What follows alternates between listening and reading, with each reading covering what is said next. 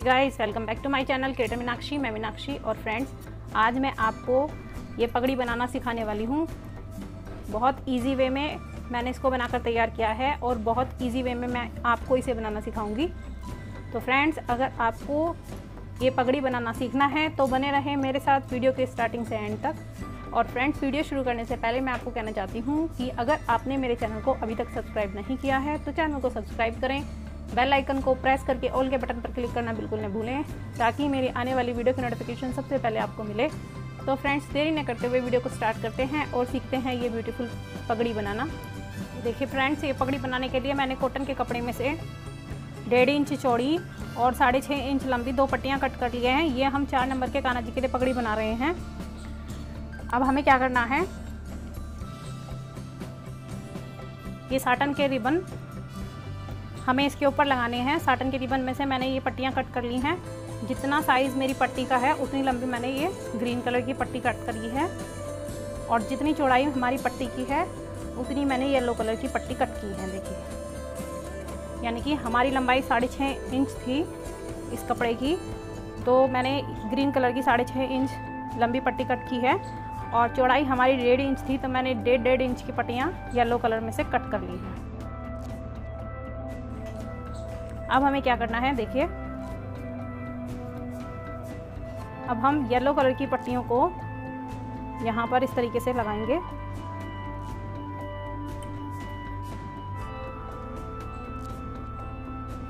बिल्कुल पास पास रखते हुए इन्हें सिलाई से हम अटैच कर देंगे। यहाँ पर।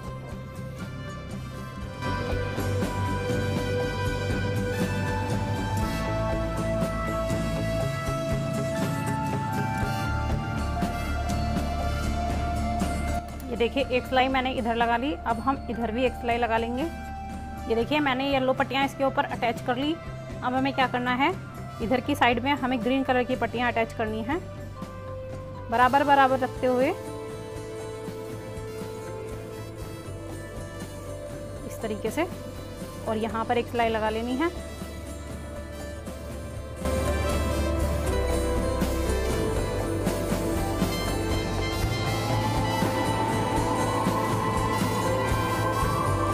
देखिए, मैंने ये ग्रीन पट्टियाँ इसमें अटैच कर दी। अब हमें क्या करना है? इनमें से एक पट्टी को लेंगे हम और येलो पट्टी की पहली पट्टी को छोड़ते हुए दूसरी पट्टी को इस तरीके से ऊपर उठाएँगे और इसके नीचे से इसको निकालेंगे। फिर एक पट्टी छोड़ेंगे, दूसरी पट्टी के नीचे से इसको निकालेंगे। इसी तरीके से करते हुए हम ये रो पूरी कंप्लीट कर लेंगे।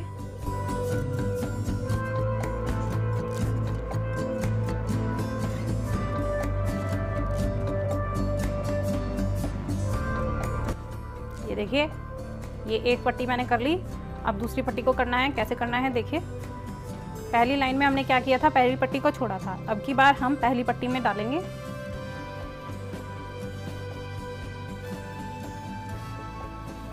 और दूसरी पट्टी छोड़ते हुए तीसरी पट्टी के नीचे से इसको निकालेंगे।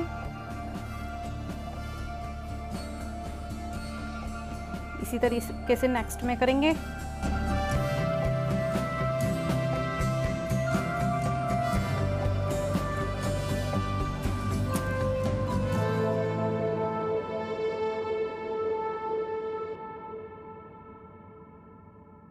ये देखिए, दो पट्टियाँ मैंने कर ली। अभी तीसरी पट्टी भी इसी तरह से कर लेंगे। जिस तरह से हमने पहली पट्टी की थी कि पहली येलो कलर की पहली पट्टी छोड़ी थी और दूसरी पट्टी के नीचे से उसको डाला था, उसी तरीके से अब करना है हमें। ये देखिए, इस तरीके का डिज़ाइन बनकर तैयार हो गया है ये। अब हमें क्या करना है, यहाँ पर सिलाई लगाकर इसको अटैच कर देना है इसमें।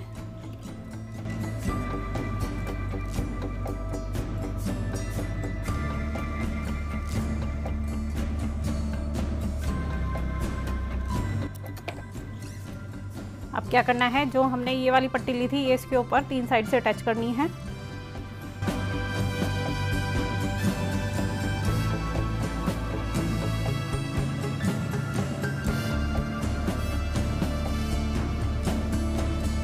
ये देखिए, इसके तीन साइड मैंने सिलाई लगाकर इसको अटैच कर लिया। अब हम इसको सीधा करेंगे।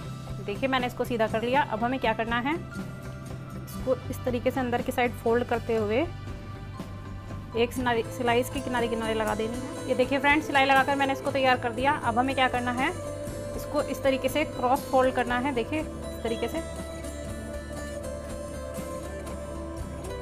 और यहाँ पर सिलाई लगा के इसमें अटैच कर देना है इसको। फ्रेंड्स, मैंने इसमें सिलाई लगाकर तैयार कर लिया इसको। अब हम यहाँ पर ऊपर की साइड में ये फ्लावर लगाएँगे। ये लगा लेते हैं। फिर आपको दिखाते हैं इसका फाइनल लुक कैसा आता है। ये देखिए फ्रेंड्स, मैंने ये फ्लावर लगा दिया है और इसके बीच में एक मोती भी लगाया है। अब हमें क्या करना है? एक एक फ्रील तैयार किया है मैंने। देखिए, मैं इसे ओरल में बताती हूँ किस तरीके से तैयार किया है। नेट के कपड़े में से मैंने 20 इंच लंबी और 2 इंच चौड़ी एक पट्टी कट कर ली थी और प्लेट डालकर उसको तैयार कर लिया इस तरीके से। ये फ्रील हम इसके अंदर लगाएँगे। देखिए, किस तरीके से लगानी है। यहाँ से यहाँ तक लगानी है। इस तरीके से लगा देंगे। चलिए लगा लेते हैं, फिर दिखाते हैं आपको।